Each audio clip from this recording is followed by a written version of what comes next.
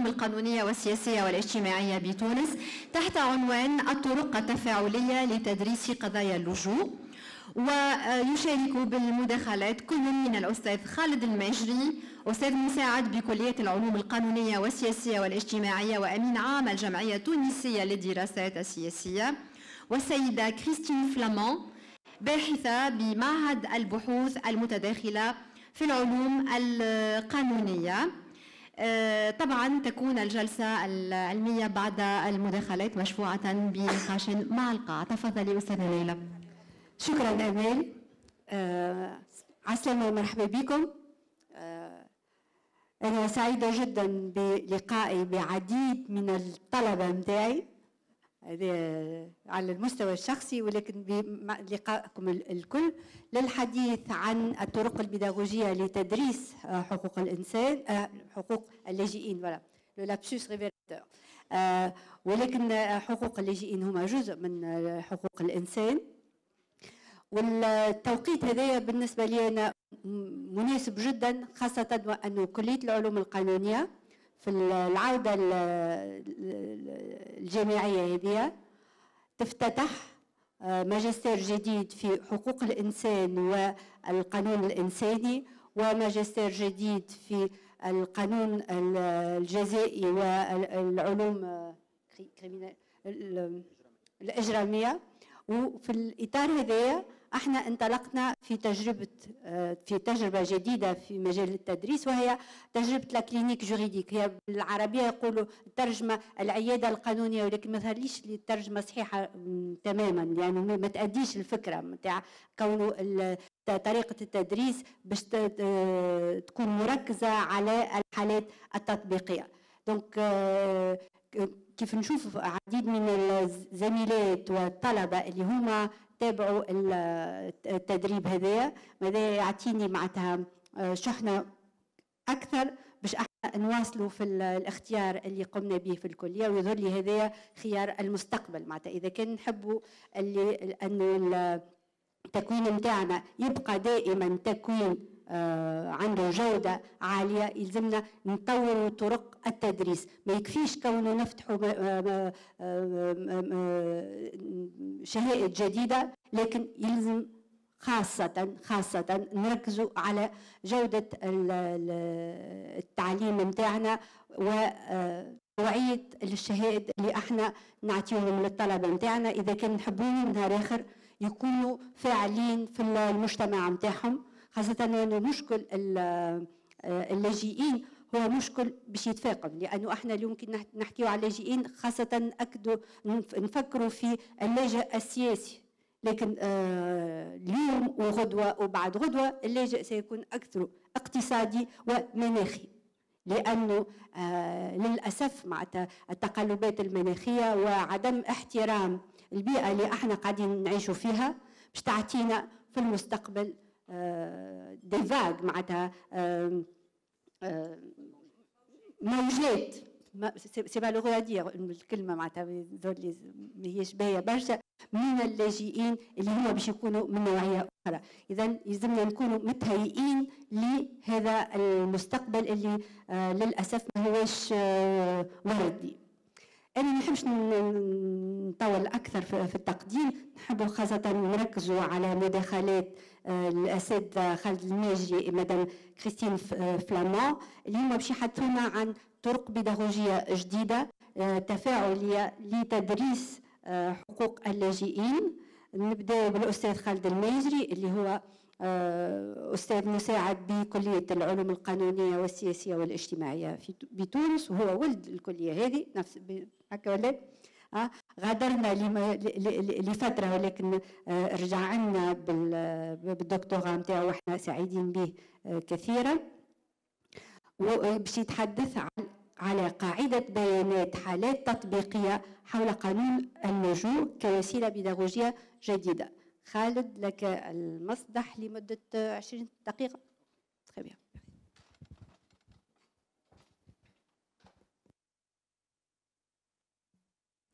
شكرا شكرا للسيدة العميدة شكرا للجميع وشكرا على آه، هذا الحضور المكثف وهذا الاهتمام وأنا سعيد اليوم بالحديث في هذا الجمع. آه، اليوم آه، أقدم آه، قاعدة بيانات حول تجارب تطبيقية ناجحة لقانون اللجوء. آه، سأتحدث آه، قبل كل شيء عن عن هذه الفكرة. آه، هذه الفكرة التي آه، ولدت ولدت آه، في مكتب. ولدت في مكتب بالمعهد العربي لحقوق الإنسان. كنت مارا من هناك عابرا في كلامي عابر. فقبلت الصديقة سناء وتحدثنا عن طريقة لإضفاء فعلية وفعالية لتدريس قانون اللجوء لأن العديد من الناس العديد من الناس لا يثقون تماما في هذا الفرع من فروع القانون. وسأتحدث عن ذلك فيما بعد. العديد لا يثقون تماما في هذا الفرع من فروع القانون وهو شيء أصبح اليوم آه، منتشرا منتشرا كثيرا. فأجبتها بأنه بالإمكان ال- الاستفادة من العديد من التجارب الأخرى آه، المماثلة ولكن في فروع قانونية أخرى. لأنه أنا ما نحبش تكون المسألة معناها فيها نوع من التعمية عن شيء أو التورية بالنسبة لشيء.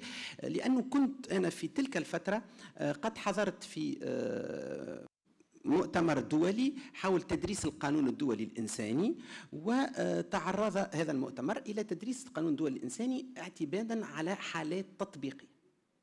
وكانت الفكرة فكرة دافع عنها فقيه معروف جدا في على مستوى القانون الدولي الإنساني وهو الفقيه ماركو ساسولي. وقلت لما لا نستفيد من هذه التجربة على مستوى قانون اللجوء وعرضت هذه الفكرة ولاقت الاستحسان من قبل ال- ال- الجميع. وانطلقنا في التفكير في كيفية جعل هذه الفكرة واقعا حقيقيا معاشا. ما هي هذه الفكرة وما هي الضرورة من إنشائها؟ هذا كيفاش يقدم؟ تكنولوجيا أمي راني. استنى. آه فوالا. اولا آه، هناك آه، فكرة فكرة في أذهان العديد من الناس هو أن القانون الدولي عموما آه، ينقصه الفعاليه القانون العمومي آه، الدولي آه، القانون الدولي العام قانون ينقصه الفعالية والجميع يتحدث عن عن هذا. لما تخرج أنت إلى رجل الشارع لما تتحدث حتى إلى طلبة السنة الأولى الجميع آه، يخرج هذا هذه الحجة الدامغة في نظر البعض أن القانون الدولي هو قانون غير مفعل. وهذه الحجة تصبح شبه قاطعة عندما يتعلق الأمر بالقانون الدولي الإنساني القانون الدولي الإنساني الذي يتعرض إلى الحروب الحرب هي آه، خرق للقانون فكيف تتحدث عن قانون في هذا الإطار؟ دونك هذه الحجة هي حجة العديد من الناس آه، تستمع إليها والعديد من الأساتذة أساتذة القانون الدولي تحاول الإجابة عنها. وغالبا ما تكون هذه الإجابة عن هذه الحجة هي إجابة منطقية نسبة إلى علم المنطق. مش منطقي بمعنى عقل معنى آه، مقنعة. لا لا نسبة إلى علم المنطق. هي إجابة منطقية بمعنى أنه مجرد تحليل آه، لمعطيات لكبريات وصغريات. والإجابة تكون نظرية بحتة. هذه الإجابة مقنعة. مقنعة لأنه لإثبات وجود القانون الدولي آه، عموما وقانون أي قانون أي فرع من فروع القانون من الممكن إيجاد هذا النوع من الإجابات. آه، ولكن هذا النوع من الإجابات آه، على ما له من قوة ومن حجة يبقى في أذهان طلبة من دارسي القانون سنة أولى أو ثانية أو حتى ثالثة من دارسي القانون يبقى تبقى إجابة نظرية. نظري. لكن في التطبيق لا وجود لهذا الفرع من فروع القانون. آه، وحتى الباحثين في ميدان القانون.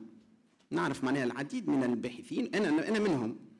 الباحثين في ميدان القانون نتعامل مع هذه المسألة مع قانون اللجوء مثلا. أنا اشتغلت على قانون اللجوء لكني تعاملت مع قانون اللجوء على المستوى النظري البحت. يمكن أنا نفسي ليست لي حالات تثبت صحة ما أقول. أنا نفسي أجد نفسي آه، أدافع عن فكرة وعندما يواجهني شخص ويقول لي هذه الفكرة طيب نظريا قانونيا آه، ممكنة ولكن على مستوى الواقع لا تطبيق لذلك. فلا أجد أي معطى آه، ثابت يكرس ما أقوله من من كلام. إذا فكرة ال- ال- عدم فاعلية القانون الدولي آه، عموما والقانون الدولي الإنساني خصوصا وقانون اللجوء كفرع من فروع القانون الدولي الإنساني بالأخص هي فكرة منتشرة ممكن آه، دحضها نظريا ولكنها بحاجة بحاجة إلى دعم على مستوى الحالات التطبيقية. هذا هذه الفكرة الأساسية التي انطلقنا منها. وبالتالي أصبح تعداد أمثلة. وهن- وهنا سأتي إلى آه، آه، صميم الموضوع. أصبح تعداد أمثلة تطبيقية لهذا القانون من بين الحجج التي وإن كانت على المستوى المنطقي معناها لما نتحدث كعلماء منطق نقول لك لا لا يمكن أن لا يعتد بال بال بالرجال على الحق. تعرفوها؟ لا, يعتد بالرجال على الحق إنما يعتد بالحق على الرجال. اذا الحجة المنطقية تعلو الحجة التطبيقية. لا هوني أنت تت- تتعامل في إطار في إطار ماذا؟ في إطار درس تقدمه لطلبة. ونعرف إحنا الكلنا هوني آه، وأغلبنا من المدرسين نعرف أنه الطالب عندما لا يقتنع بجدوى المادة معناها الطالب دائما إحنا علم القانون ما هو؟ هو علم تطبيقي في آخر الأمر. الطالب هنا حتى يأخذ معلومات ليطبقها. عندما يقتنع بأن هذا الفرع من فروع القانون هو فرع نظري ندرسه لندرسه الفن للفن. لا الطالب لن يكون معناها مقتنعا بهذا الفرع وبالتالي ماكش تلقى مختصين في هذا الفرع وماكش باش تلقى عباد تدافع عن عن هذا القانون. وبالتالي من المهم أن تكون هناك أمثلة تطبيقية. أين سنضع هذه الأمثلة التطبيقية؟ أقترح أقترح أن آه، تكون هذه الأمثلة التطبيقية فيما بعد سأقول كيف ستعرض. ولكن أقترح أن يستعملها أن يستعملها المدرس آه، في درسه في آه، موضعين. الموضع الأول هو موضع المقدمة. وغالبا عندما يكون هناك درس حول قانون اللجوء آه، كأي درس حول القانون الدولي عموما آه، هناك نقطة أساسية في المقدمة هي إقناع الجميع بجدوى ما نقوم به. إقناع الجميع بجدوى ما نقوم به وبجدوى ما ندرسه. ولإقناع الناس بجدوى ما ندرسه من الضروري أن تكون هذه الحالات التطبيقية موجودة. ولكن لاحظت أنه أنا نفسي آه، عندما حاولت أن أقوم أن أعد مشروع لدرس في قانون اللجوء وجدت أنه لا وجود لحالات تطبيقية ومن الضروري أن أسعى وأبحث عن حالات تطبيقية. أين سأجد هذه الحالات التطبيقية؟ في كل مكان وفي غير مكان. آه، هذه الحالات موزعة على آه، على أصحابها. أولا الناس التي عاشت هذه ال- ال- ال- ال- الوضعية وعلى جمعيات مختصة على منظمات غير دولية على منظمات حكومية على غيرها من من مما يمكن أن يعتبر مصدرا للمعلومة في هذا الم- المجال. ولكنه مصدر للمعلومة هاكم تراو معناها إكلاتي موزع. ففكرت في أنه يمكن أن تكون هناك هذه القاعدة التي يستعملها المدرس أولا إقناع الطلبة بأهمية دراسة هذا الفرع من فروع القانون وثانيا حتى تستعمل كأدلة أيضا لأنه أنا بالنسبة إلى هذا الفرع بال- بالذات من فروع القانون. وهو الفرع القانون الدولي الإنساني عموما بالمعنى الواسع للقانون الدولي الإنساني بالمعنى الواسع للقانون الدولي الإنساني. آه، هذا الفرع من فروع القانون سي ان droit de la pratique. هو قانون الممارسة ويتطور بالممارسة. هذا حتى الفقه في هذا المجال هذا ما قاله. قال أن هذا الفرع يتطور بالممارسة. والممارسة غالبا ما يحصرها رجال القانون في فقه القضاء. في حين أنه أنا لا أرى أن الممارسة من فقه القضاء. فقه القضاء مصدر من مصادر القانون والممارسة شيء آخر. فيكتفي المدرس بالاستدلال مثلا على حجية شيء ما أو فكرة ما أو مادة ما من مواد القانون بتطبيقاتها فقه القضائية وغالبا ما يتحدث نشر القانون عن التطبيقات تطبيقات فقه قضائي. فهنا السعي كان إلى إيجاد نوع آخر من أنواع تطبيق القانون وهي الحالات الحالات المعيشة الممارسة.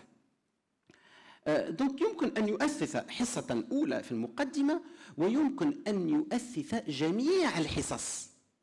بمعنى أنه ما فيها بأس أن الأستاذ عندما يقدم المعطى يقدم مثلا فصلا من فصول اتفاقية جنيف حول قانون اللجوء أن يقدم تطبيقا فقه قضائي لهذه المسألة وأن يقدم ممارسة من ممارسات الدول حول هذا الموضوع.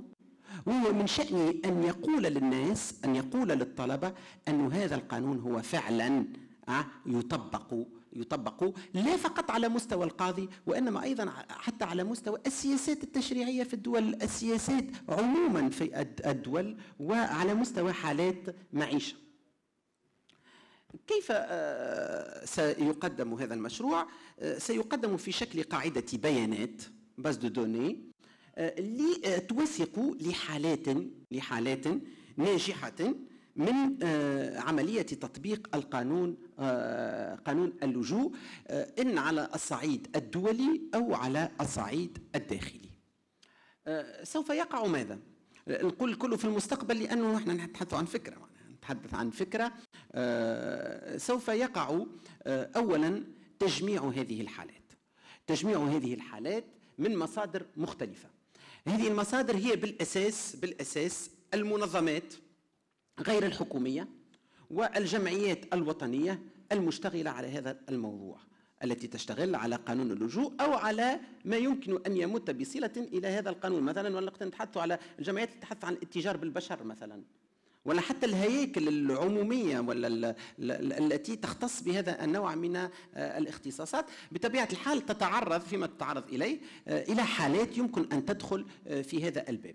سوف يقع الاتصال بجميع هذه ال ال ال الهياكل وقد وقع. هكا ولا سنة؟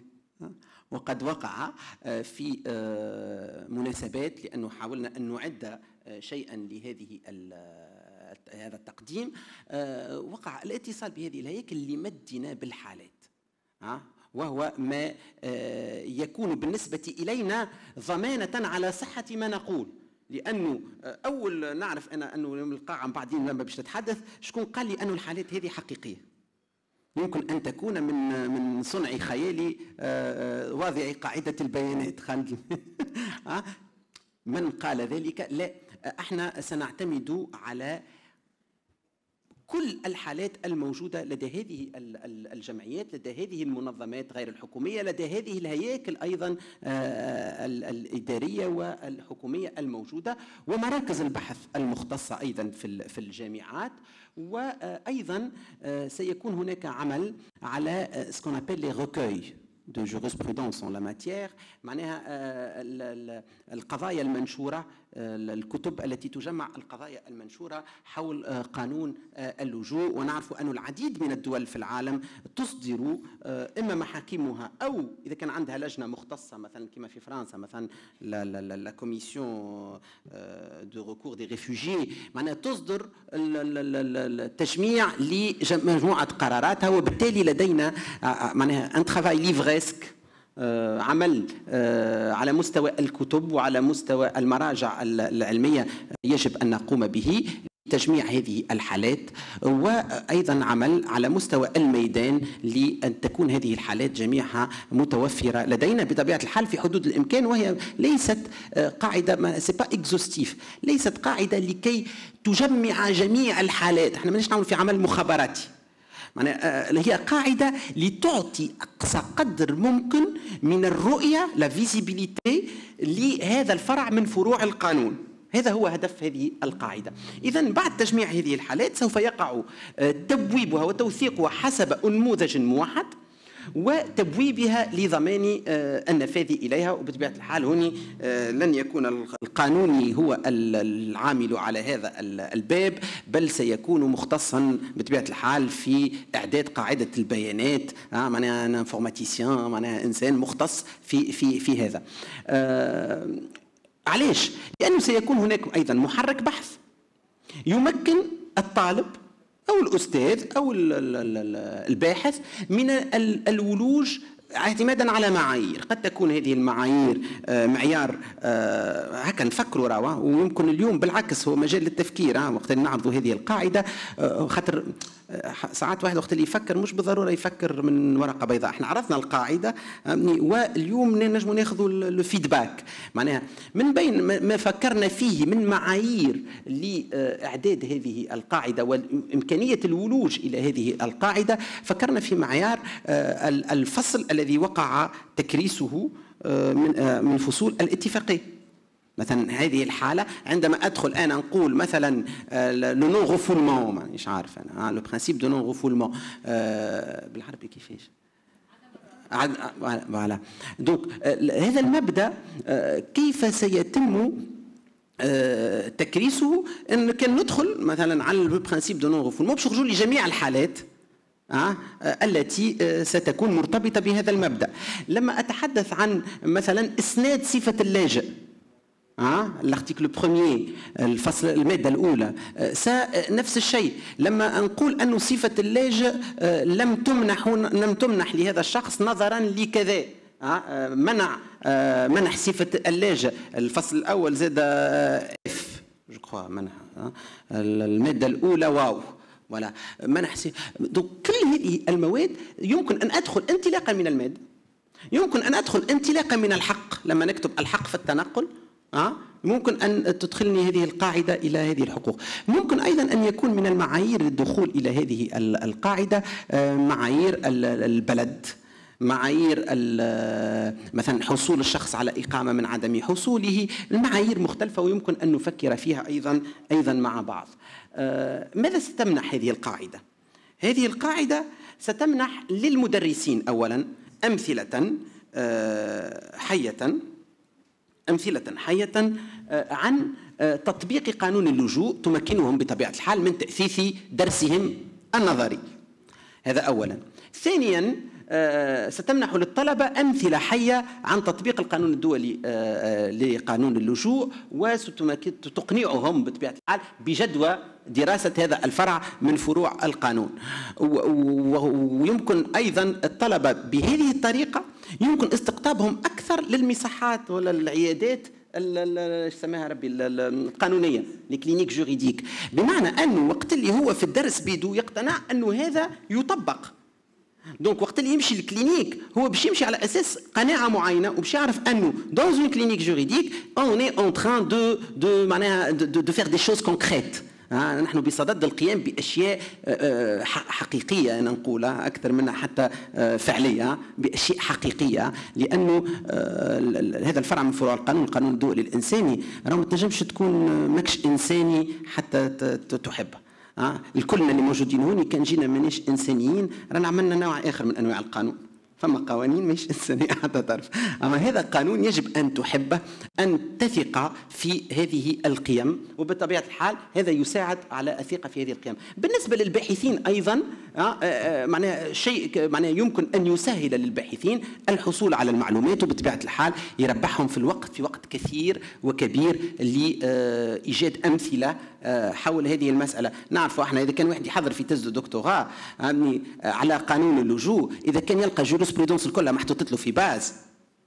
عملنا له 70% من الخدمة سميه حضرنا له 70% من الخدمة يحب له فواياجات ولابوراتوار دو ريشيرش يصرف ودرا شنيا ودرا شنيا باش يمشي يلمهم هو هذوك. لي روكوي هذوكم الكل وباش يمشي يشوف الحالات ويعمل اتصالات ووقت وكذا واحد. دونك هذا كله يمكن أن يسهل للباحث بطبيعة الحال بطبيعة الحال هو ما يسهلناش لنا إحنا اما يسهل للباحث آه، آه، أن يقوم بهذه العملية. المهم باش نقدم لكم زوز أمثلة اشتغلنا عليها حتى تراو كيفاش يمكن أن تكون قاعدة البيانات. مثلا آه، اشتغلنا على حالة السيد جون من رواندا هذا هذه حالة واقعية في تونس اشتغلنا عليه. بلده الأصلي رواندا. بلد الاستقبال كان تونس. الهيكل المتعهد بالملف هو المفوضيه العليا لشؤون اللاجئين. من غادي خذينا الملف لأنه دائما يجب أن يكون مصدرنا مصدرا موثوقا.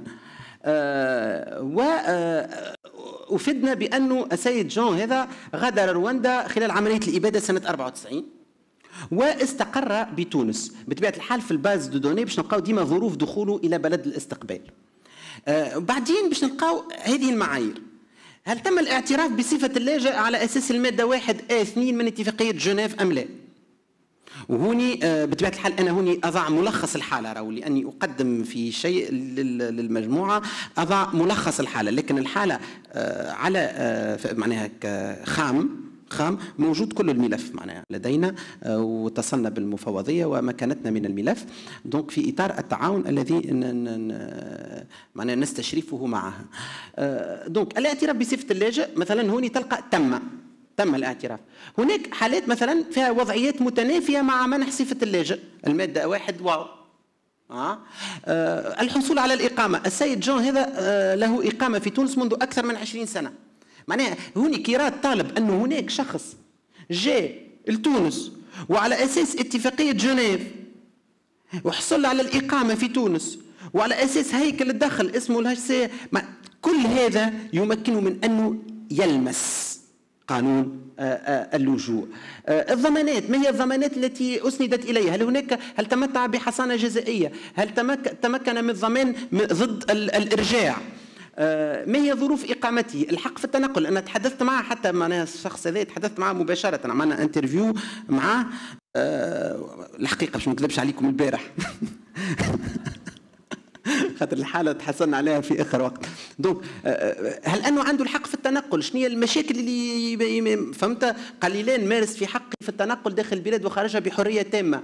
الحق في العمل معناه يمشي ويجي. هو ديجا البارح آخر النهار باش يطلع المطار معناه عنده مسافر.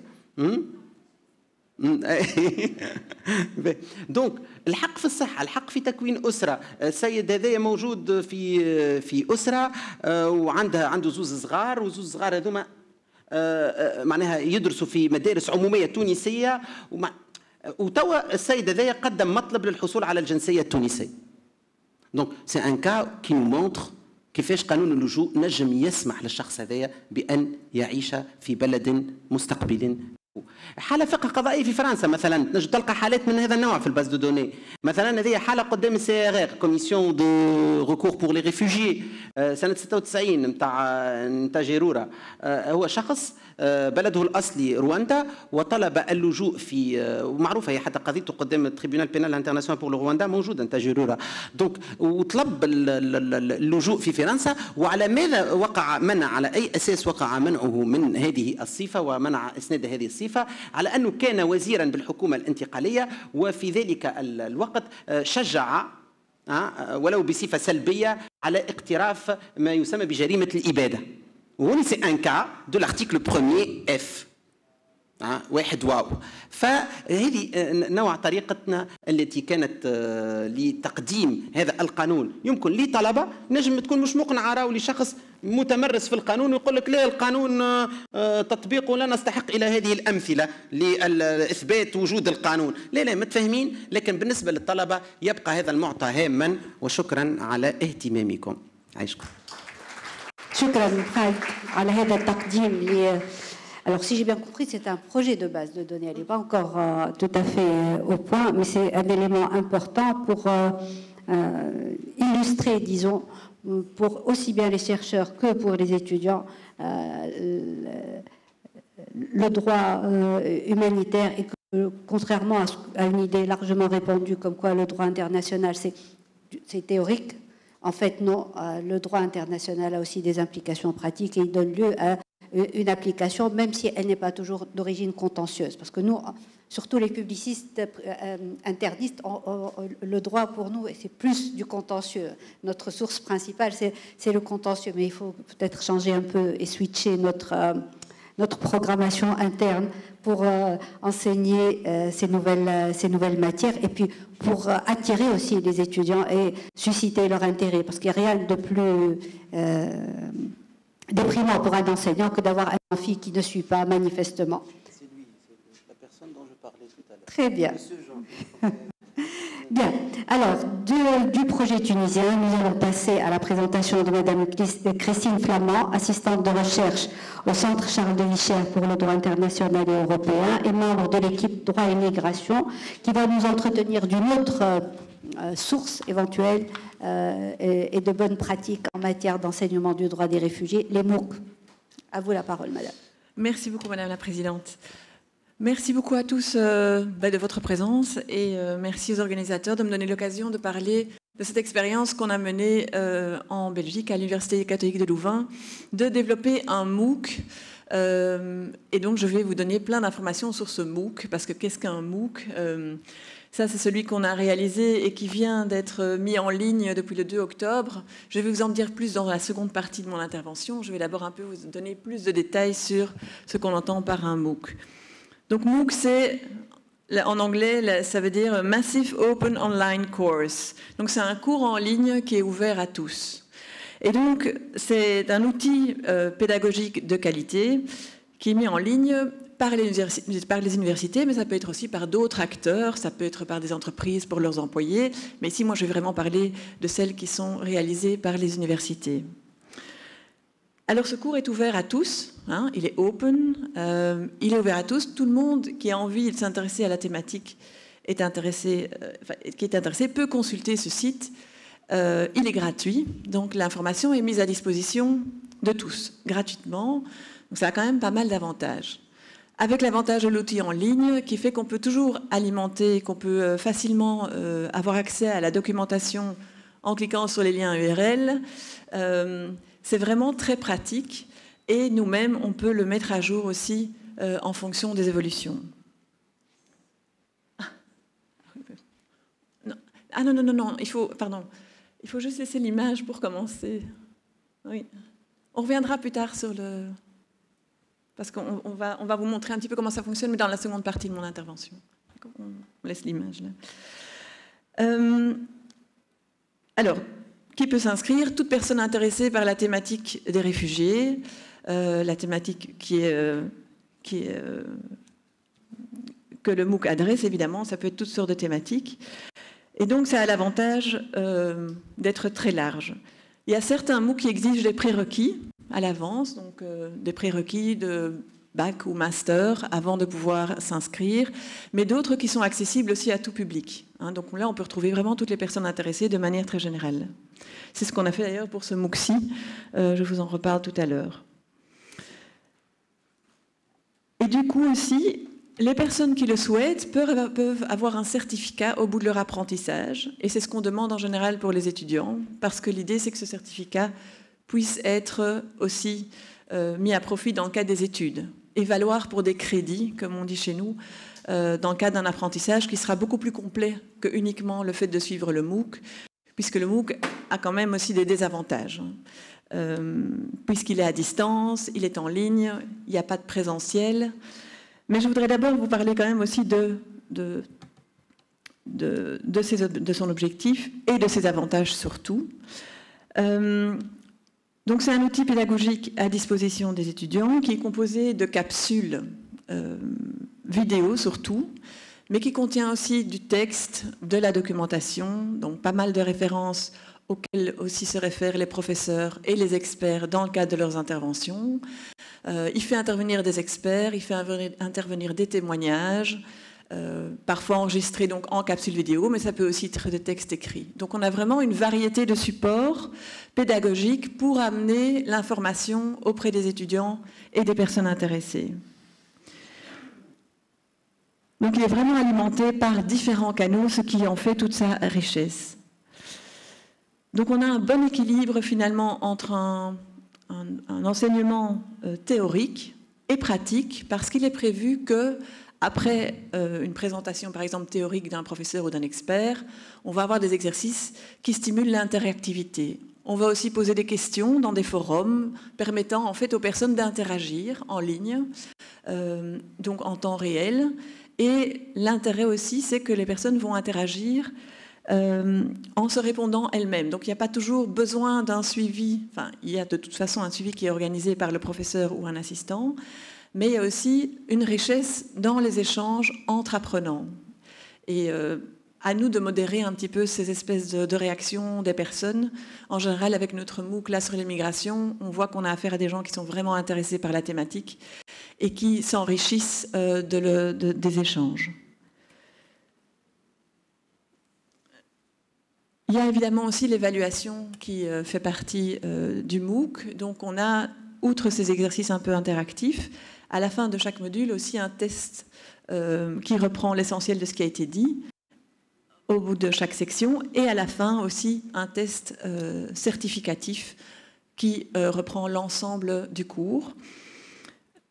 Celui-ci peut être prolongé éventuellement d'un mémoire ou, par exemple en Belgique maintenant à l'UCL on a développé un micromaster euh, qui comprend quatre cours, quatre MOOC, un en droit international humanitaire, le droit international public, euh, les droits de l'homme et le droit des investissements. Et donc, on a un micromaster de quatre cours. Si les étudiants, qui eux, alors ont vraiment un apprentissage bien ciblé hein, et, des, et, des, évaluations aussi très très ciblées, réussissent les quatre épreuves, ça vaut pour 20 crédits dans le cadre d'un cours de 60 crédits. Et donc, ce qui se passe après, c'est qu'ils euh, doivent venir en présentiel à l'heure du coup à l'université pendant six mois euh, pour terminer cet apprentissage. Euh, donc ça, c'est déjà un moyen de faire, mais on peut aussi très bien se contenter éventuellement d'un certificat pour un cours et que le professeur estime que cela vaut un tel nombre de crédits dans le cadre d'un cours qui est donné. Donc voilà, ça c'est un peu les différents aspects dont je voulais vous parler dans le cadre euh, du développement d'un MOOC. Euh, nous, on a choisi de développer un MOOC sur les migrations qui s'appelle Regard croisé sur les migrations, comme vous voyez. l'idée, c'était vraiment d'avoir des approches différentes sur la thématique transversale euh, des migrations et d'avoir des approches, des vues vraiment aussi différentes par discipline. Hein. donc, on, on, a vraiment favorisé l'interdisciplinarité. Il y a six facultés qui ont été vraiment impliquées dans euh, ce MOOC, qui des facultés en sciences humaines. Donc il y avait les, juristes, les économistes, euh, les psychologues, anthropologues, sociologues, et enfin les, les, je réfléchis, les démographes. Voilà, pour avoir une approche vraiment tout à fait intégrée de la question des migrations. Donc on a euh, ce MOOC maintenant qui est en ligne depuis le 2 octobre. Et euh, il a été divisé en six sections. Le premier qui aborde les aspects euh, des récits, des trajectoires migratoires. Le deuxième module, c'est les aspects plutôt de tendances migratoires et démographiques. Quels sont les chiffres en matière de migration? Le troisième, c'est la question de la protection des réfugiés, protection et migration. Et la quatrième section, c'est la question des aspects euh, discours sur l'immigration, les aspects euh, préjugés, euh, mais aussi les aspects médiatiques. Donc on a mis tout ça dans une section qui s'appelle Migration et discours. Une cinquième, c'est un peu l'apport des migrations par rapport à l'économie de chaque pays. Ça c'est important aussi, je crois, une dimension aussi qu'on oublie parfois. Et la dernière concerne les questions des trajectoires familiales.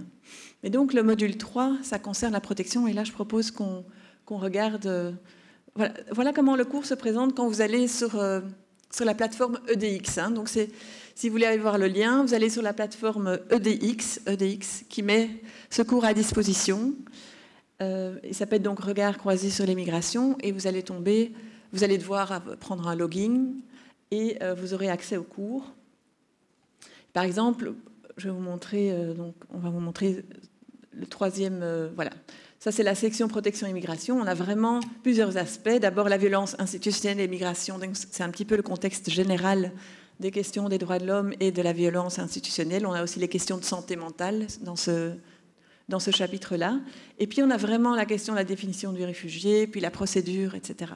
Donc on se proposait de vous montrer euh, une petite capsule sur, euh, par exemple, dans le cas de la définition du réfugié, la persécution et le lien causal. Ça, vous voyez à quoi ça ressemble.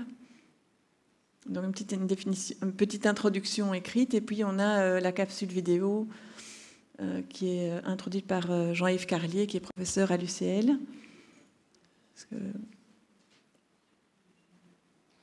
La Convention de Genève de 1951 sur le statut de réfugié définit le réfugié comme suit toute personne qui, craignant avec raison d'être persécutée, du fait de cinq motifs, et se trouve hors de son pays d'origine. Deux aspects, l'un objectif, l'autre subjectif. L'aspect objectif, c'est de se trouver hors de son pays d'origine. Il faut le savoir. Ça veut dire que la Convention de Genève ne couvre pas les... Ah, on peut s'arrêter là. C'était juste pour euh, montrer un peu comment ça fonctionne. Et alors ensuite, il y a un exercice à la suite de cette capsule euh, auquel les, personnes vont répondre dans le cadre de cette interactivité qui est favorisée euh, pour voir si les personnes ont bien compris euh, ce qui a été dit dans la capsule. Et alors également, il y a des forums où des questions sont posées par rapport à certaines thématiques et où donc les apprenants vont interagir entre eux. Donc ce qui est important dans cet outil, je pense, c'est qu'on met à disposition des informations, par exemple, sur la définition du réfugié, un vrai cours. Bon, ce n'est pas l'entièreté, euh, ce n'est pas uniquement consacré à la définition du réfugié et aux droits des réfugiés, mais ça insère la thématique dans le cadre général des migrations, des droits de l'homme et de la vie familiale. Euh, on a l'idée aussi de développer un MOOC plus tard sur vraiment la question des réfugiés. Euh, mais ce qui est important, c'est qu'on met à disposition cette information à des apprenants partout dans le monde. Donc, par exemple, là, ce MOOC qui a été lancé le 2 octobre, pour l'instant, on a 1000 apprenants, un peu plus de 1000 apprenants dans le monde dont la moitié est en Belgique et l'autre moitié est partout euh, en, Europe. Il y en a au Maroc, il y en a au Canada, euh, parce que je sais que Gabor avait fait un peu la promotion de l'outil ici euh, aussi auprès des, collègues qui étaient impliqués dans, le Maghreb, dans les conférences Le Maghreb protège. Donc on a vraiment, on atteint beaucoup de monde du moment que les gens ont l'information sur l'existence du MOOC. Et donc je, bah, vous encourage de toute façon, si ça vous intéresse, à éventuellement aller voir. Ça peut aussi être un outil euh, pour, dans le cadre de votre formation, euh, dans la formation que vous donnez euh, aux étudiants, et d'avoir des outils, des exercices à disposition, de la documentation, les références, tout se trouve en ligne. bon, alors c'est un gros travail en soi d'élaboration et de coordination. évidemment, au départ, on a, un peu défini les objectifs d'apprentissage, ce qu'on voulait que, les gens, que les étudiants retiennent de l'utilisation de cet outil. Et euh, après, on a estimé aussi qu'il fallait voir si ces objectifs avaient été atteints, d'évaluer les acquis euh, d'apprentissage en bout euh, d'apprentissage. Et donc pour l'instant, ce, cet outil est en ligne. Il a démarré le 2 octobre et il est séquencé. Ça veut dire que il s'étend sur trois mois. Il va se terminer le 21 décembre et on ouvre les modules chaque deux semaines. Donc là, on a ouvert le second module qui est celui de la démographie et le troisième sur la protection s'ouvre le 23 octobre. Donc très bientôt, c'est mardi prochain. Donc si vous le souhaitez, vous pouvez toujours vous joindre au groupe euh, pour, euh, pour participer à cet exercice. Et de toute façon, si vous le faites, vous pouvez le faire de manière certifiée, mais aussi de manière audite, comme on appelle ça, audite, c'est uniquement participer au cours, un peu bah, de manière euh, sans, vraiment euh, avoir un objectif clair euh, à la base, enfin l'objectif d'apprendre, mais pas d'avoir un certificat. Euh, il y avait encore une chose que je voulais vous dire.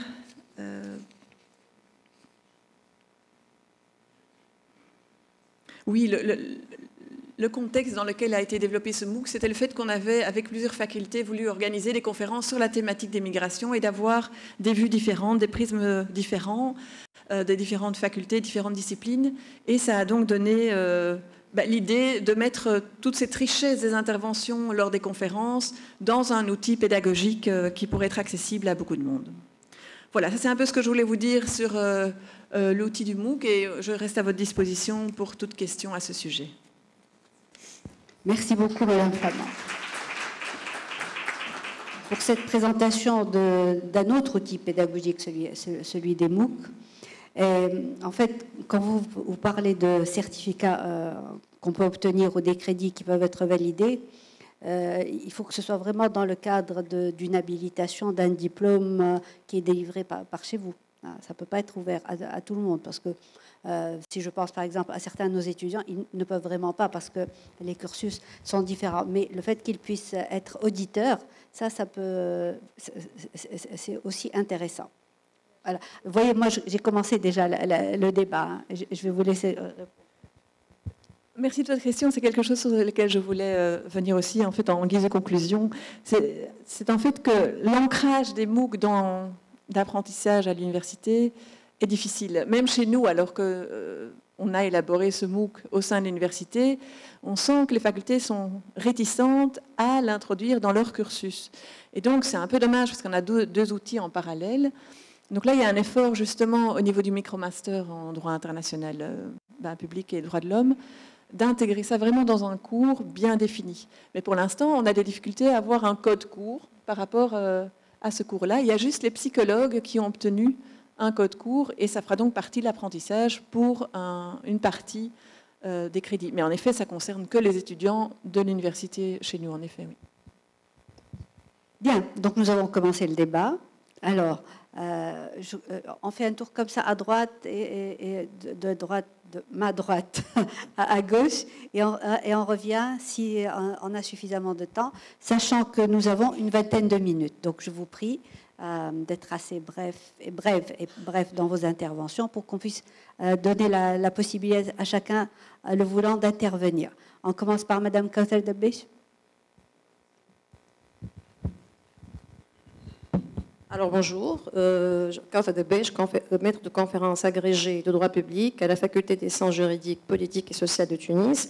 Et d'ailleurs, j'ai l'impression que notre faculté s'universalise, parce que ce matin, je me sens presque chez moi, c'est-à-dire y a notre chère doyenne, mon très cher collègue et ami Khadl Mejli, et beaucoup d'anciens étudiants et des collègues. Alors justement, je vais juste vous livrer un tout petit peu mes, euh, mes impressions par rapport en fait à ce que j'ai pu assister euh, ce matin, c'est-à-dire euh, l'intervention notamment de, de Alors par rapport justement à notre manière d'enseigner, c'est-à-dire tu as, tu présenté cette base de données comme étant un moyen, si vous voulez, de créer l'engouement chez les étudiants. Alors, ce qui me gêne un tout petit peu par rapport effectivement à ces nouvelles, je vais me faire un tout petit peu l'avocat du diable, c'est pas grave, il faut bien que, quelqu'un le fasse, c'est-à-dire les nouvelles techniques d'enseignement. Un peu l'interactivité, un peu, c'est-à-dire peut-être aussi ces bases de données qui sont très fonctionnelles, c'est-à-dire je, je comprendrai parfaitement l'utilité d'une base de données pour un chercheur, pour des experts, pour des formateurs mais pour un enseignement du droit des réfugiés, ce qui serait très bien, par exemple, dans une licence fondamentale en droit public. Alors, justement, euh, vous savez tous que quand on enseigne, c'est-à-dire nous sommes des juristes, et vous savez que le droit, c'est l'art de la fiction. C'est-à-dire, axer trop sur des exemples pratiques, je pense que ça pourrait dévier, si vous voulez, la fonction du cours, d'un cours c'est-à-dire comme on l'entend classiquement, qu'on a appris un tout petit peu dans, notre cursus pédagogique, un, presque un exercice expertal. Parce que ce qui est très important justement à enseigner aux étudiants, c'est l'art de la fiction, c'est se faire quand même des catégories, apprendre à, mener une démonstration. en fait, puisque j'enseigne, tu le sais, donc le droit de la mer essentiellement à la faculté, j'ai pensé à un moment à faire un cours justement interactif via des cartes, euh, machin. Et par la suite, j'ai renoncé parce que je pense, enfin, la fonction justement d'un cours de droit de la mer, c'est d'amener réellement les, étudiants à peut-être se représenter virtuellement une carte. C'est ça en fait la force du cours. Et donc peut-être justement, j'aimerais avoir un peu tes, impressions par rapport à cette question-là. Merci. Très bien, merci Klaus. Alors, monsieur.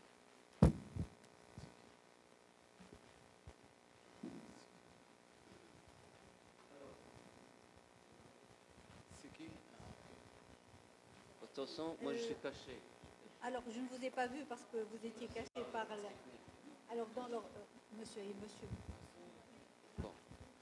Je vous remercie, madame la doyenne.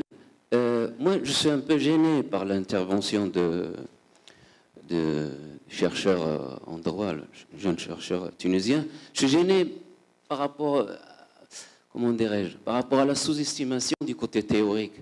On commence toujours par présenter le côté théorique à travers des définitions, euh, les limitations des, concepts, etc. Et après, on passe au côté pratique si on peut le faire.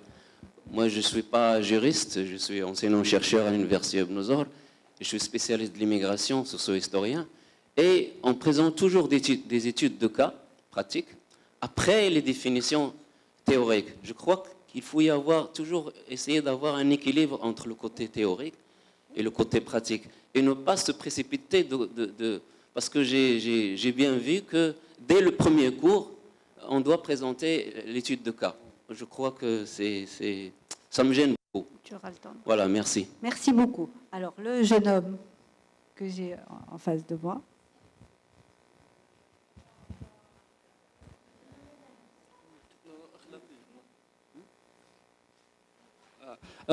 اخلاقيا يعني راح يكون نؤثر نفسي على الاخ جابور لانه هو استاذي Il vous donne la séance. Merci, c'est très gentil. Je voudrais, juste faire un commentaire sur les deux premières questions, interventions, euh, en, défense de, notre, présent, euh, notre intervenant. Euh, mon expérience, c'est que le droit d'asile, c'est quelque chose de très pratique. On peut apprendre la, théorie, mais pour comprendre des concepts comme le groupe social ou la, persécution ou la protection internationale, il y a en fait très peu de théorie et beaucoup de cas. Donc, très souvent, si vous regardez le recueil des droits des réfugiés, c'est plein de jurisprudence, surtout en anglais, parce que c'est à travers la jurisprudence que ces concepts, sont évolués. Donc, c'est profondément différent du droit de la mer, où on, a vraiment besoin de beaucoup d'imagination, ou bien des sciences sociales aussi.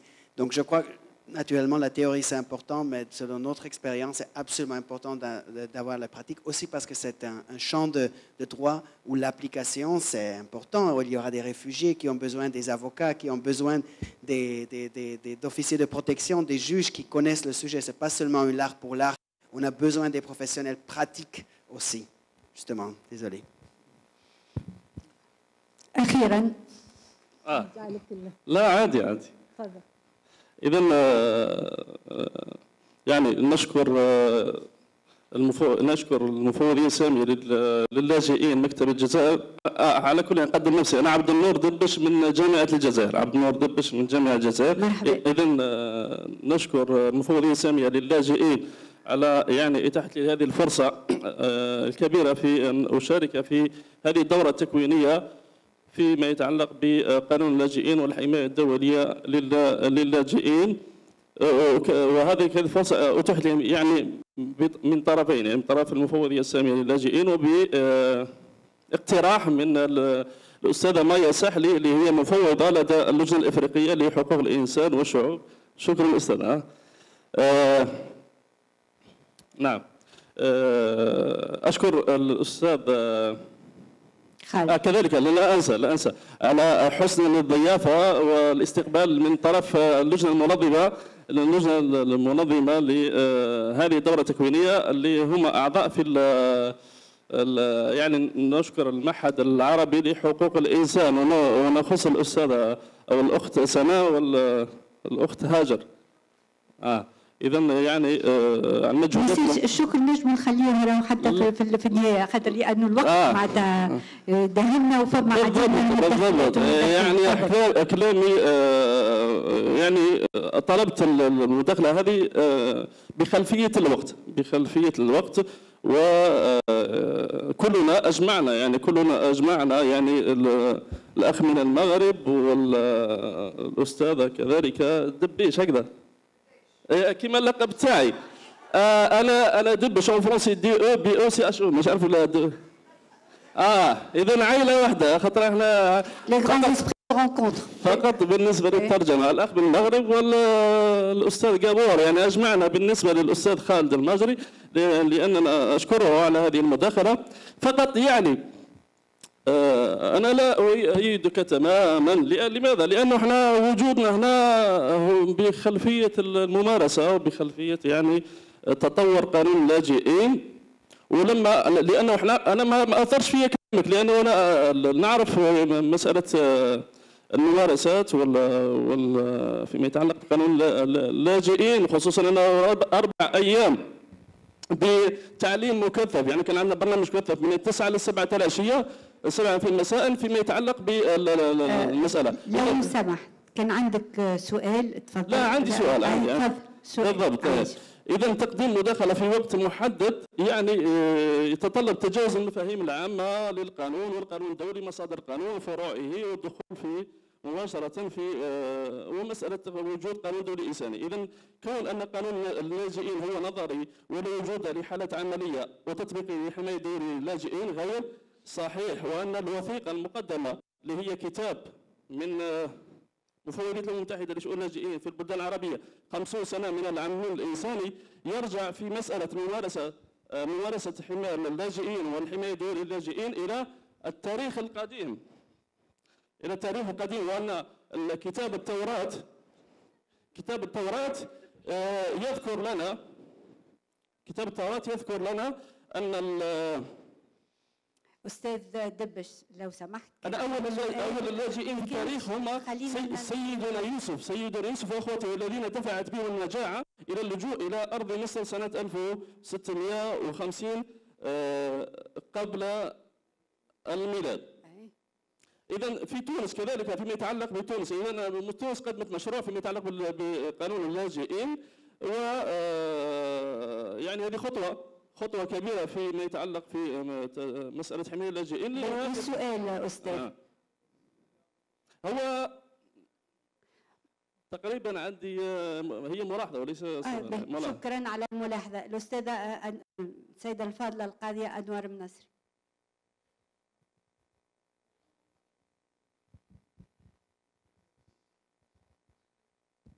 شكرا السيده العميدة. شكرا على ترأس هذه الجلسة وكذلك آه، نذكر الأستاذ خالد. آه، أنا باغلي قاضية في المحكمة الإدارية عضوة في الوحدة القانونية للاجئين بالمعهد العربي.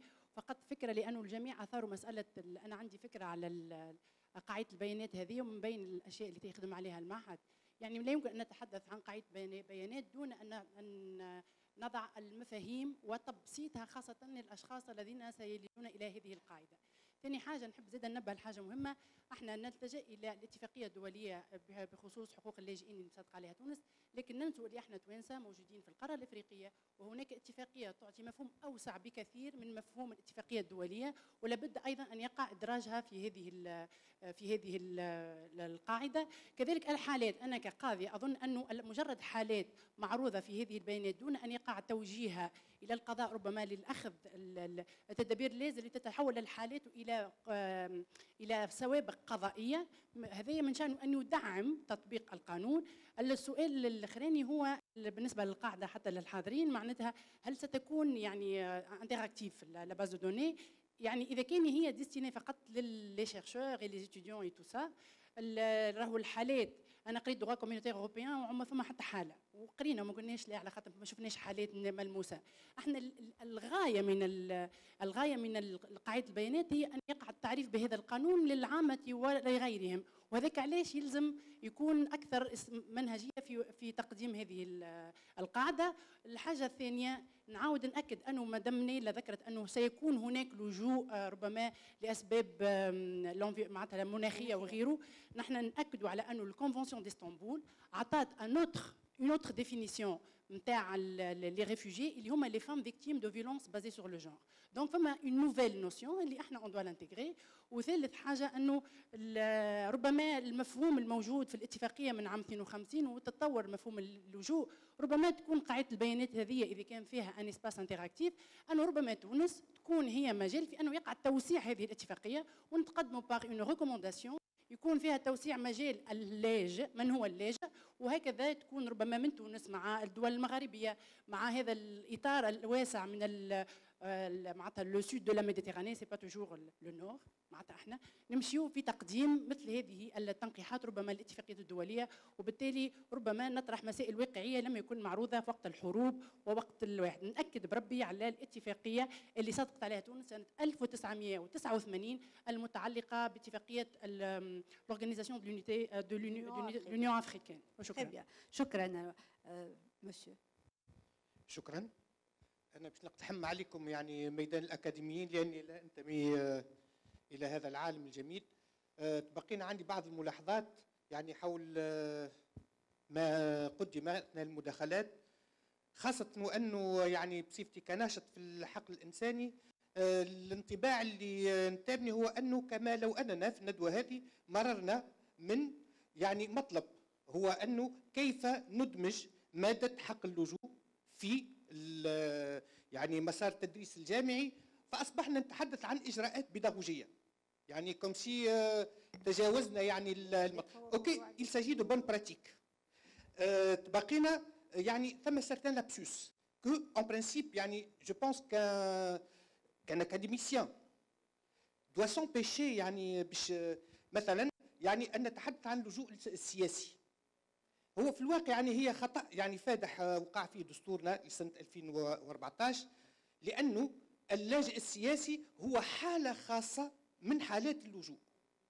فما ثماش كان لاجئ سياسي ثم اللجوء لأسباب أخرى عديدة ذكرها يعني قانون آه، اتفاقية 51 آه، بالنسبة للإجراءات أنا سي خالد الماجري يعني عرفته كمختص في القانون الدولي الإنساني ويظهر لي ثم اون سيرتان دي فورماسيون اكاديميك دون سو سونس يعني هو تحدث عن القانون الدولي الإنساني بمعناه العام. فادمج فيه يعني قانون اللجوء والحال أنه قانون اللجوء والقانون الإنساني هما مادتين ديستانكت يعني ما ثماش لسبب لسبب. هو أنه يعني و أستاذ خالد يعني مسألة الحالات التي ننطلق منها يعني اللي يعني الانطباع اللي هو أنه في ذهنك يعني لي كا نتاع جوريسبرودونس اللي تعرضوا يعني أمام المحكمة الجنائية الدولية أو غيرها من المحاكم يعني الخاصة في الانتهاكات الحاصلة للقانون الدولي الإنساني. والحال أنه بالنسبة يعني للقانون اللجوء لا توجد محاكم على ستار لا سي بي ولذا يعني إذا كان باش نطلقوا من حالات خاصة صحيح موجود. وبيداغوجيا il suffit يعني باش ندخلوا للسيت نتاع الهسيات في الروبريك نتاع ديترميناسيون دو ستاتيو دو ريفوجي تو تلقى العديد من الحالات بودات فيكتيف لكن هي في الواقع ترجمة لحالات حقيقية لتحديد صفة اللاجئ اللي عالجها الهسيار يعني في مختلف أنحاء العالم. الور يعني بالنسبة Est-ce que vous avez une question à poser Non, justement, il y a quelques remarques que je pense être importantes. Très bien. On a enregistré.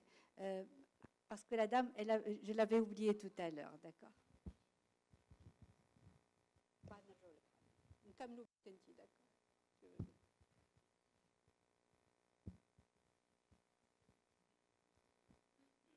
Euh, je suis euh, professeur INTACTAC de la faculté de droit de Casablanca doyen chargé des affaires pédagogiques depuis cinq ans au niveau tout ça de la fac.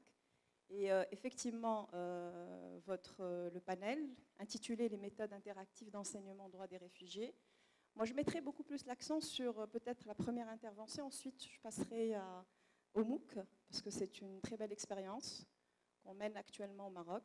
Et que ça donne. C'est vrai que ce n'est pas évident parce que les gens ne sont pas vraiment très friands de la technologie on reste dans le classique.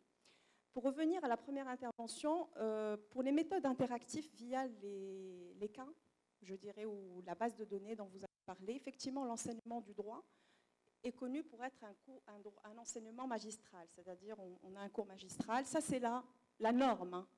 Euh, mais il faut savoir une chose, c'est que euh, on ne sait pas exactement quel type, et ça c'est le gros problème de l'enseignement supérieur actuellement, c'est de définir un peu le profil de l'étudiant qu'on voudrait euh, enseigner, qu'on voudrait former. Jusqu'à une certaine époque, on considérait que la fac est un lieu euh, pour enseigner euh, les futurs chercheurs. D'accord? Et vous savez que la fac de droit, c'est l'une des facs où il y a le plus d'étudiants inscrits.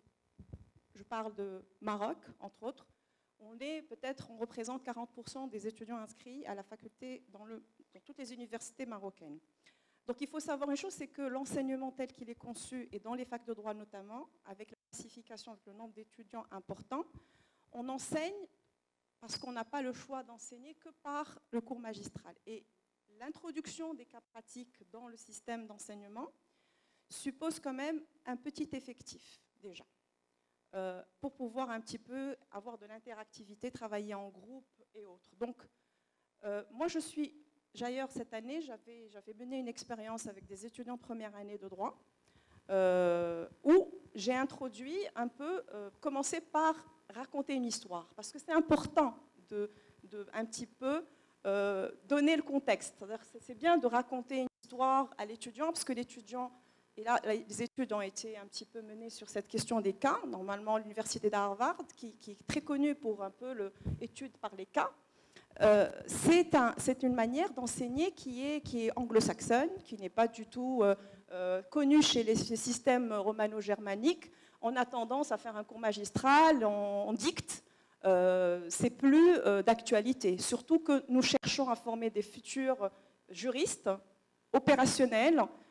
On est en, contradiction avec nous-mêmes, c'est-à-dire d'un côté on enseigne de manière très classique et de l'autre côté on a tendance à enseigner de manière et on dit on veut former des futurs juristes, des futurs avocats, des futurs juges opérationnels qui répondent à des questions.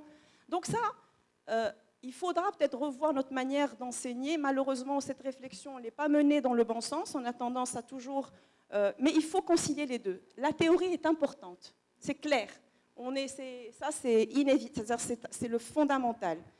Les cas pratiques interviennent soit en amont, soit en aval. Tout dépend de la manière avec laquelle on voudrait transmettre. Et, le droit des réfugiés, et bah, j'approuve un peu l'avis de Gabor, le droit des réfugiés, c'est un droit qui est pratique.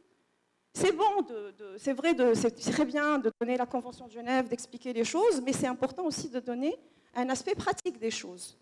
Mais il faut savoir comment. C'est ça un petit peu, et malheureusement, on n'est pas formé dans cet esprit-là. Nos professeurs ne sont pas enseignés dans cet esprit-là. Pour revenir à l'enseignement MOOC, et ça je reviens, ça c'est un... Euh, il y a une manière d'enseigner euh, qui est autre que les cas, les cas pratiques. Euh, enseigner via les e-learning, l'enseignement à distance, c'est une pratique qui commence à devenir de plus en plus courante. Et il y a des capsules, il y a des cours qui se font. Je trouve que c'est une, autre manière d'enseigner pour rendre accessible euh, à plus d'étudiants qui ne sont pas obligés, qui sont, tenus d'être dans le présentiel, donc d'assister aux cours. Euh, on a fait une expérience avec le droit des réfugiés euh, destiné à des troisième années, donc, mais c'est l'initiation. C'est un peu ce que vous avez un petit peu présenté, mais, mais en petit petit, parce que ce sont des étudiants en troisième année. Donc le but, c'est de les initier à cette à cette méthode, à cet enseignement, pour les amener à faire des projets de fin d'études portant sur soit un récit de vie, donc, soit un plaidoyer sur, euh, sur une thématique qui intéresse à partir d'un cas pratique. C'est-à-dire, le cas pratique peut être traité de plusieurs manières. Donc, et l'étudiant, lorsqu'il s'inscrit, lorsqu'il veut poursuivre ce projet de fin d'études, il a 4 ou 7 ou 8 heures d'initiation pour un petit peu s'imprégner de la question des droits réfugiés. Et ensuite, on commence à traiter des cas pratiques concrets et l'étudiant, à la fin de son projet, peut présenter un plaidoyer sur une situation, une dame, sur euh, un certain nombre de personnes. Très bien. Merci, madame. Voilà.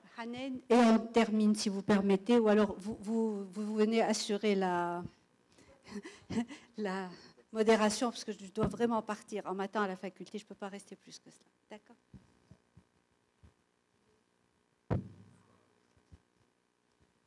Hanen Ben docteur en droit et enseignante à la faculté de droit de Sousse. En fait, euh, j'ai suivi avec beaucoup d'intérêt les deux interventions et j'adresse mes deux questions à M. Khalid El Est-ce que vraiment le droit des réfugiés peut être considéré comme étant une branche du droit international humanitaire? Et là, je rejoins monsieur je reconnais que parfois il peut y avoir un enchevêtrement entre deux situations. Euh, une guerre, un conflit armé interne ou international, qui pourrait générer des flux massifs de réfugiés. Mais est-ce que vraiment on peut dire que le droit euh, des réfugiés donc, euh, est, une branche du droit international humanitaire? Et une deuxième question, vous avez mentionné Khaled tout à l'heure l'affaire Ntaje Rura, si ma prononciation est bonne. Et donc, j'ai une toute petite question. D'après ce que vous avez mentionné, il, était, il avait plutôt encouragé un crime, des crimes de génocide, des actes de génocide, et euh, on sait que euh, c'est un motif d'exclusion de motifs de réfugiés. Donc, euh, est-ce que vous pouvez, nous éclairer un peu sur cette affaire Et je vous remercie. D'accord. Est-ce qu'on peut leur laisser le, soin de répondre et après un deuxième tour? Voilà, comme ça, ce sera plus intéressant. Moi, je finis le premier tour et je vous laisse finir le second. Ok, merci beaucoup. Euh, en fait, je tenais mon portable tout à l'heure parce que j'étais en train de noter les questions.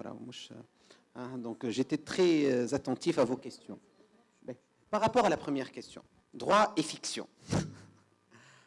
tout le monde sait que le droit est une fiction. Là, on est d'accord. Mais le droit est une science, c'est une fiction, mais aussi le droit est une technique. Et je suis tout à fait d'accord quand euh, Kauthal me dit que euh, pour, euh, pour enseigner le droit, il faut apprendre aux étudiants le, le, réflexe de... voilà. Mais aussi, pour enseigner le droit, il faut apprendre aux étudiants aussi hein, de, de, de, de, faire des, des cas pratiques et euh, d'être dans la pratique. Euh, il y a des matières, il y a des matières. Il y a des matières, il y a des matières. Il y a des matières, il y a des matières. Il y a des matières qui s'apprêtent à avoir un enseignement pratique. Et là, c'est par l'expérience, dans tous les, dans tout, quasiment dans tous les États du monde. Quand on enseigne il y a quelques matières, comme le droit international humanitaire, ça s'enseigne dans toutes les facultés de façon pratique. C'est des cas pratiques qui s'enseignent. Euh, le droit des réfugiés aussi, Gabor l'a dit aussi, hein. le droit des réfugiés aujourd'hui, on enseigne de cette façon. C'est le droit des réfugiés qui va apprendre aux étudiants un réflexe juridique quand même. C'est le droit de la mer qui va leur apprendre la fiction. Et dans un cursus universitaire, l'étudiant a besoin des deux. A besoin des deux. Ceci ne nie pas le fait que dans le cours, parce que monsieur a dit la précipitation vers les cas pratiques, non, je ne dis pas que ça sera le cours. Je dis que ça sera un outil que va utiliser l'enseignant pour avoir des cas pour illustrer dans son cours théorique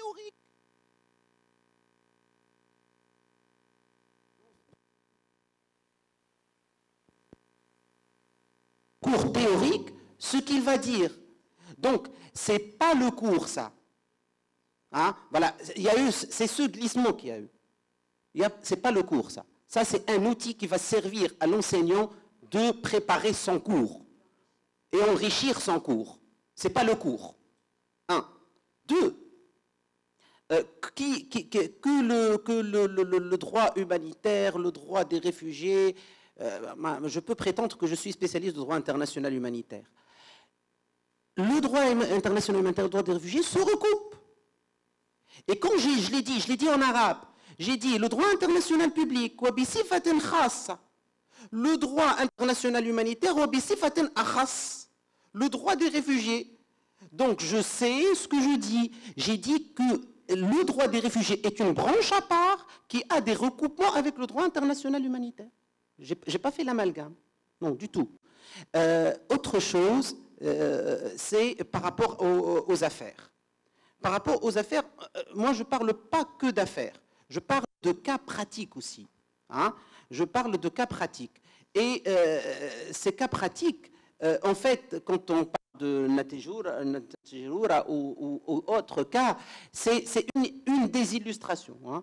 On a des cas qui n'ont pas été devant ni le tribunal pour le Rwanda, ni pour la, ni la CPI, ni rien du tout. C'est un des cas. Il se trouve que l'exemple soit, soit euh, un, exemple qui a été illustré devant le tribunal. Ça, c'est. Voilà. Ben, allez, Madame Bien. Alors, moi, je m'excuse de vous laisser en milieu de séance, mais vraiment, je ne peux pas rester plus que ça. Je voulais vous remercier toutes et tous de votre attention, euh, les intervenants bien sûr, et peut-être garder en tête que tout est question de dosage. Voilà. Bonne continuation. Tout à fait. Donc, euh, voilà, ça c'est euh, la dernière question. les questions aussi ont été très importantes par rapport à l'interactivité. Hein. Ça sera interactif ou pas? Bien sûr que ça sera interactif, mais voilà, on est en train de, de mettre en place cette base de données. Donc, et c'était ça les questions qu'on attendait. Est-ce qu'elle va, ça va être attentif, euh, interactif ou pas? Euh, Est-ce que euh, ça va prendre en considération comme critère ah, Oui, aussi. Hein. Moi, j'ai présenté un exemple quand j'ai parlé de la Convention de Genève pour faire vite aussi. Hein. Mais je parle aussi des, articles de la Constitution tunisienne qui peuvent être euh, une base d'entrée. je parle aussi de, plusieurs autres instruments juridiques qui peuvent être donc des critères d'entrée dans, cette base, base de, données. Euh, voilà, je crois que voilà. Donc, donc on parle pas de précipitation, parce que ce n'est pas de la précipitation. Hein. On n'a pas dit qu'on va entrer aux étudiants, leur dire, voilà, c'est le droit des réfugiés. Hein, vous avez fait quatre jours de droit des réfugiés, donc voilà, ce n'est pas ça, le droit des réfugiés, c'est les cas pratiques, le droit des réfugiés. On n'a pas dit ça. On a dit que les étudiants vont étudier le droit des réfugiés en bonne et due forme, ok, et que cette base va aider et les étudiants, et les chercheurs, et les enseignants à peaufiner leur cours, à euh, aussi rendre leur cours un peu plus, un peu plus vivant. شكرا الأستاذ خالد. فقط حبيت بتاتخ نعطيكم فكرة على هذا المولود الجديد وهو ما زال بصدد التفكير. نحن حابين نطرحوها قضية قاعدة البيانات اليوم معكم أنتم. لنفتح المجال ونعمق التفكير أمام أهمية هذه القاعدة. الحقيقة نحن الآن بصدد التفكير مع شركائنا المفوضية السامية لشؤون اللاجئين لوضع بلاتفورم كبيرة حول قضايا اللجوء. لأنه كما سياداتكم الكل حاضرين السادة القضاة وكذلك السادة الأكاديميين في حاجة والطلبة في حاجة إلى مصادر معلومات باللغة العربية. لأني جو rejoins Monsieur Gabor لا جوريسبريدونس موجودة باللغة الإنجليزية موجودة على الويب سايت تبع المفوضية وكذلك المنظمات الدولية ولكن ما ينقصنا فعلا هي مصادر معلومات باللغة العربية. الإعلاميين والإعلاميات كذلك في الدورات السابقة أكدوا وحثوا على وجود قاعدة المعلومات التي تيسر العمل وهذا التفكير الذي بدأنا فيه في المعهد مع شركائنا. وهذه القاعدة هي الأولى وما زالت نفكر فيها وسوف تعمق. لا سيما لابد أن يكون فيها كل المراجع القانونية أكيد من ذلك وكذلك الحالات لا جوريسبريدانس ونحن كذلك بصدد إعداد مرجع خاص في حالات فقه القضاء لتكون مرجعا للسادة القضاة. نحن مازلنا تجربة جديدة في تونس. on a besoin des experts sur terrain. Inch'Allah, le Qanoun, une fois, il sera adopté par la Tunisie. On a besoin des experts. Vous serez nos experts, ça c'est certain. Donc c'est pour cela مهمتنا كمعهد عربي والمفوضية بتمكينكم من مصادر المعلومات لتسهل الحماية للاجئين وهذه الفئات المهمشة. Merci beaucoup. Donc ما نعرفش كان ما زالت هنالك أسئلة. Voilà. هرب علينا الميكرو.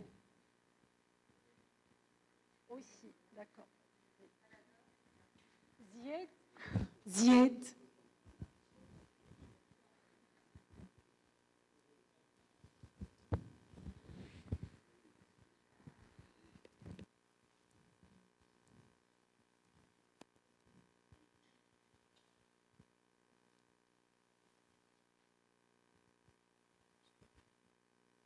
بثينة بن كريديس كلية العلوم القانونية والسياسية والإجتماعية.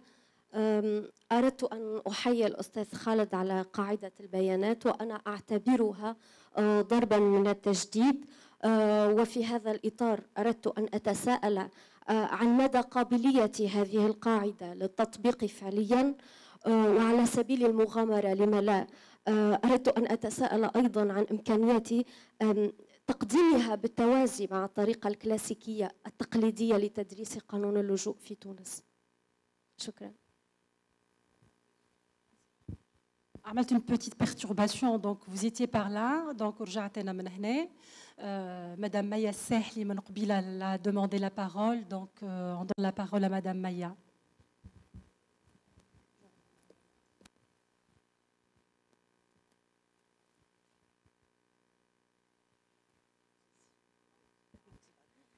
Merci beaucoup. Merci beaucoup également pour les intervenants. Je crois que la famille universitaire partage les mêmes préoccupations. Ça, c'est le premier constat. Euh, on n'est pas à l'heure des bilans, mais on est à l'heure de la réflexion revisitée autour des méthodes d'enseignement. je remercie euh, M. Khaled. D'ailleurs, je suis très contente de le revoir. Oui.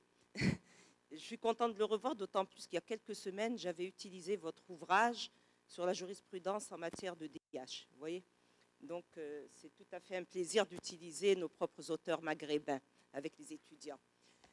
Votre méthode est intéressante. Lorsque vous dites qu'il faut effectivement utiliser le cas pratique, mais pas au détriment également des aspects théoriques. Vous avez raison de dire que le cours magistral classique, je pense qu'il faut le bannir pour certaines matières. En tout cas, moi, pour ma part, qui enseigne, je dirais, les droits de l'homme, le DIH également, je l'ai complètement supprimé. Je préfère les groupes d'amphi, le séminaire, les travaux pratiques. Vous parlez des. Ce que j'utilise, moi, avec mes étudiants, c'est carrément le jeu de rôle. Le jeu de rôle qui est important, par exemple en matière de réfugiés, il est facile de prendre un groupe d'étudiants et de dire, vous vous mettez dans la situation de réfugiés. Je prends deux étudiants qui vont représenter le HCR, trois étudiants qui vont représenter l'État, par exemple et distribuer les rôles de manière à les mettre en situation. Ça, c'est important. Et je crois que lorsqu'on associe le cas pratique, le cas de jurisprudence, le jeu de rôle et les aspects théoriques, on arrive réellement à faire de l'interactivité avec les étudiants. Bien sûr, ça s'adresse également à un public avancé. Je ne le ferai pas, je le fais pas en licence, je le fais en master, parce qu'on a des masters beaucoup plus spécialisés. Je vais beaucoup plus loin lorsque je délivre mon enseignement sur les droits de l'homme. Et là, ça risque de choquer. Je mets carrément les étudiants dans des situations de discrimination. Je dis bien des situations de discrimination et vous le dites au moment de l'introduction du cours. Je dis, bon, nous allons commencer l'introduction, mais je ne veux pas donner, bon, c'est des exemples très simples. Le droit international des droits de l'homme a des principes, c'est la non-discrimination. Donc, mettons les étudiants dans des situations de discrimination pour que cet étudiant puisse ressentir ce que c'est que d'être de couleur, ce que c'est que d'être exclu parce que je porte un foulard, ce que c'est que d'être exclu parce que j'ai un handicap. Et ça, je le fais au début. Pourquoi? D'abord, ça les choque, c'est vrai, parce qu'ils se demandent pourquoi je mets de côté tel étudiant, tel autre, mais je leur explique par là même, voilà le ressenti de ceux qui souffrent de discrimination sur la base des catégories de personnes, de catégories vulnérables. Donc je pense qu'on peut toujours, à travers des enseignements, faire en sorte que les étudiants soient attirés par la matière. Ce que l'on veut créer, c'est de l'attractivité. Et lorsqu'on crée l'attractivité à travers des cas pratiques, de la jurisprudence, des jeux de rôle, ce que je fais est dur parfois parce qu'ils se demandent, mais ils se disent, euh, cette, euh, cette, enseignante, elle arrive et elle nous dit, euh, je vais vous dire carrément, un jour j'ai pris un groupe de filles qui portaient le foulard dans l'amphi, je leur ai dit mettez-vous là-bas de l'autre côté. Elles se demandaient pourquoi j'avais dit ça. Je leur ai expliqué, c'est parce que ça, on crée une discrimination sur la base de l'appartenance religieuse. Qu'est-ce que vous avez ressenti lorsque j'ai fait ça? Elles m'ont dit, on était étonnés, on se demandait qu'est-ce qu'on avait fait, pourquoi, etc. Donc, en même temps, je cible des questionnements. Et ensuite, j'explique qu'en matière de droits de l'homme, principe essentiel, c'est l'égalité, la non-discrimination, etc., etc.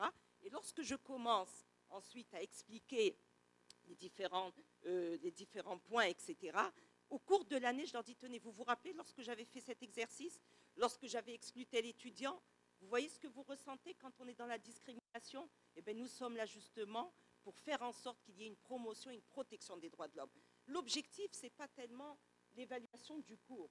L'objectif, et d'ailleurs vous l'avez dit, c'est de se poser la question de savoir qu'est-ce qu'on forme à l'université. On va former des théoriciens peut-être, mais on forme également le citoyen. Et ça a été dit ce matin dans le discours. Hein. On forme un citoyen, on forme celui qui sera tolérant, celui qui acceptera les différences de l'un et de l'autre. Et on, nous avons un rôle en tant qu'enseignants.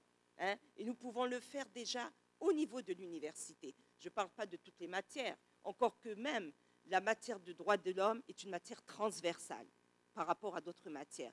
Donc c'est vrai que les méthodes interactives sont importantes telles qu'elles sont dictées à l'heure actuelle. Mais nous, enseignants, nous sommes également capables de créer nos propres séances interactives à partir des jeux de rôle, de scénarios, etc. et d'expliquer effectivement ce qui se passe. Pour les réfugiés, c'est la même chose. Je le dis, vous prenez un groupe, vous êtes, des réfugiés. Euh, vous, vous êtes l'État, vous, vous êtes des ONG, vous, vous êtes le HCR. Il y a également le CICR, parce que parfois, il y a des, problèmes. Voilà, qui va protéger le CICR ou le HCR euh, Il y a OCHA également, hein, qui intervient sur le terrain. Donc, il faut les mettre en situation. Et puis, vous savez qu'à la longue, ça peut créer des vocations.